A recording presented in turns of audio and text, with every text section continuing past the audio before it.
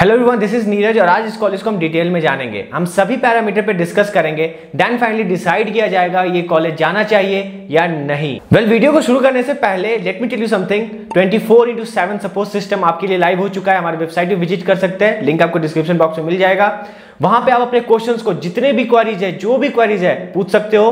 With in twelve hour आपको response मिल जाएगा। प्लस कॉलेज चूज़ करने में सपोर्ट चाहिए काउंसलिंग रिलेटेड कोई भी डॉट्स आ रहा है। कॉलेज आते ही फ़र्स्ट ईयर में क्या क्या चैलेंजेस क्या क्या ध्यान रखने वाली बातें होती है उससे रिलेटेड आप वन वन मेंटरशिप बुक कर सकते हो। डायरेक्टली वीडियो कॉल पे मैं आपको सजेस्ट करूँगा सभी चीज़ें। सो so, मैं टोटली अंडरस्टैंड करता हूँ कि क्या क्या प्रॉब्लम्स हो सकते हैं। Plus we got so many award from Topmate and we are verified mentor and guess what we already cover to plus mentorship our goal is simple helping you going from inside college to going out.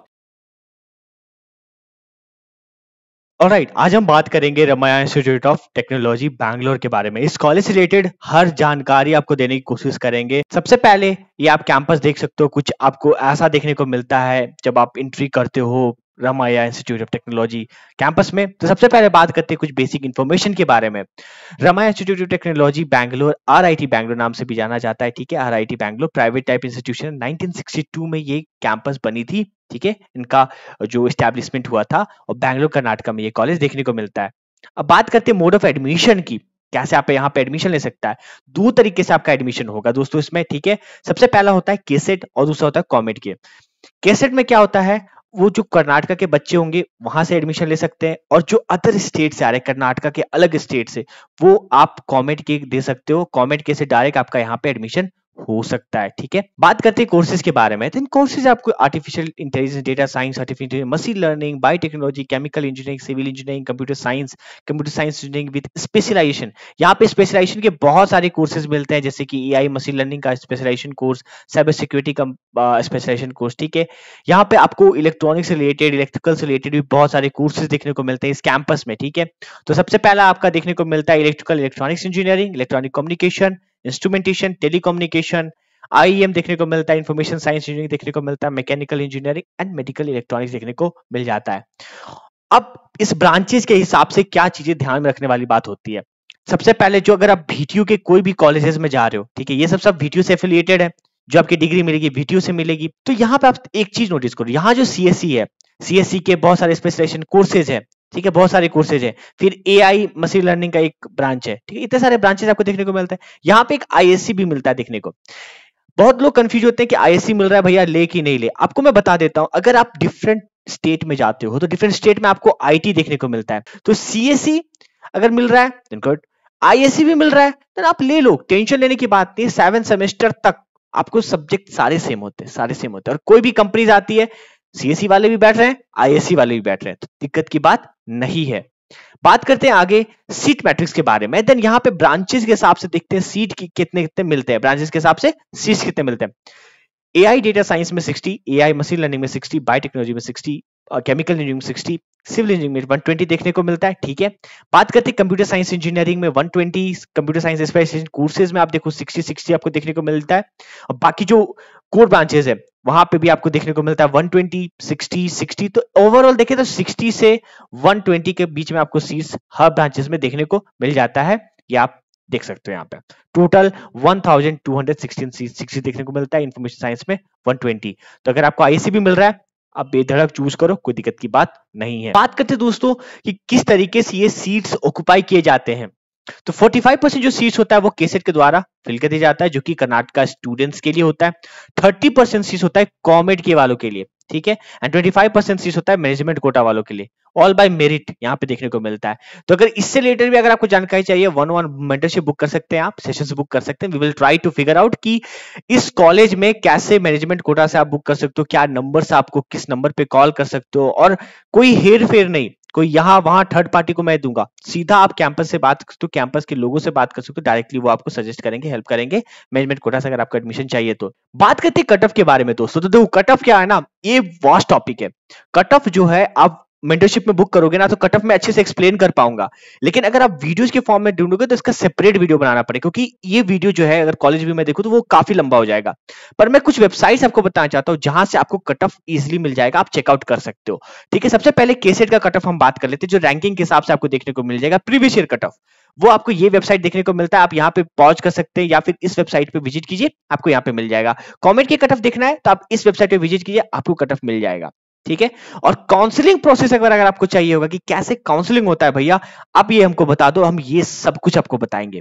Make sure sure अगर आप यहाँ तक videos देख लियो make sure आप subscribe करो my channel को। It's really helping us motivate करता है कि हम लोग और भी इंपॉर्टेंट इंपॉर्टेंट वीडियोज़ लाए और उन सभी बच्चों को हेल्प करें जो अच्छा कॉलेज डिजर्व करते क्योंकि कॉलेज एक इट्स रियली इंपॉर्टेंट राइट वो चार साल आपका डिपेंड करता है उस पर और खराब कॉलेज मिल गया तो पूरा ज़िंदगी एकदम अजीब सा हो जाता है। सबसे पहले बात करते हैं प्लेसमेंट के बारे में। नंबर ऑफ़ कंपनी कितनी विज़िट की थी? 358 नंबर ऑफ़ जॉब्स कितने ऑफ़र किए गए थे? 1892 2024 में देखा जा रहा है प्लेसमेंट का रेशियो काफ़ी कम हो रहा है, बहुत सारे लोगों को जॉब नहीं मिल रहा है।